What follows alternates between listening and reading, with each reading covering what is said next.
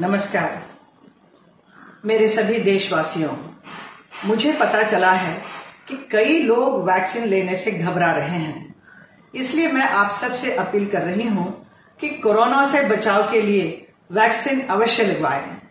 Vaccine लगवाने से किसी भी प्रकार का खतरा नहीं है। अफवाहों पर मत ध्यान दीजिए। खासकर ग्रामीण क्षेत्र के लोगों से भी मैं विनती करती हूँ। हमारे देश में कोरोना से बचाव की जितनी भी वैक्सीन लगाई जा रही है, वो पूरी तरह से सुरक्षित है। मैं और मेरे परिवार के सभी लोगों ने दोनों डोसेस लगवा लिए हैं। घबराइए मत, आगे बढ़िए और जल्द से जल्द वैक्सीन लगाइए, ताकि बाद में पछताना न पड़े। कोरोना को हराना है तो वैक्सीन ज़रूर लगाना है।